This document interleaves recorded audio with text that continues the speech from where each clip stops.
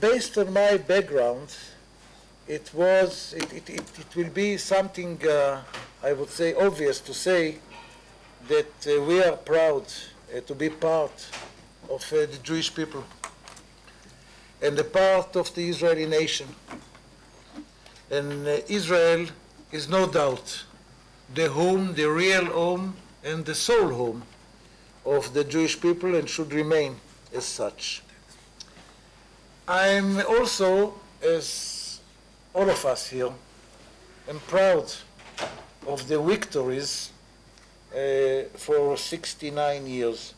And I really hope and wish that we will not have more victories because nobody of us wishes to be involved in more wars. But who knows?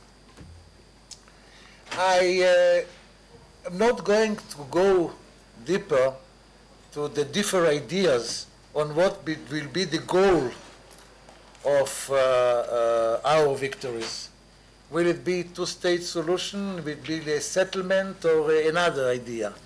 But no doubt that we should implement the victories to something realistic. And the uh, assurance of our future should not come from uh, violence. It should come from uh, uh also not from a one-sided uh, uh, move.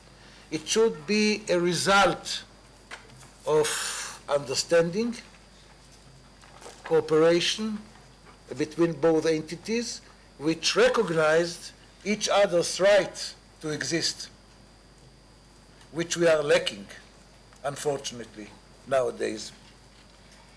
And Israel should stay strong. We haven't no other alternative. And always remain at the first of the technological uh, uh, field in order to achieve a substantial peace with our neighbors. From my experience working in the Israeli security services for more than 30 years and being the director of the service for more than seven years, I think that the purpose of each military victory should be to ensure a better future for the state of Israel, for us. אז אני אסכם את דבריי הקצרים באמירה של משפט אחד.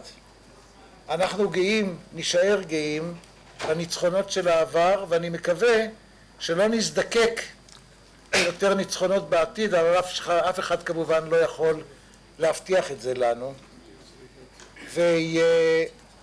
ותודעת הניצחון לטעמי היא מאוד חשובה, ומטרת השדולה הזאת היא באמת להדגיש אותה, כי לעיתים אנחנו סובלים בחברה הישראלית מתחושות של התלבטות.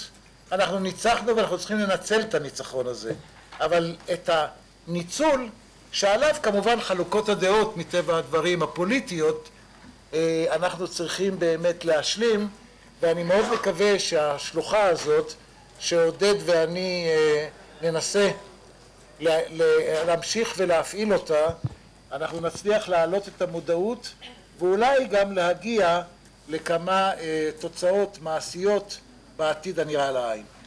תודה לכם על כך שבאתם.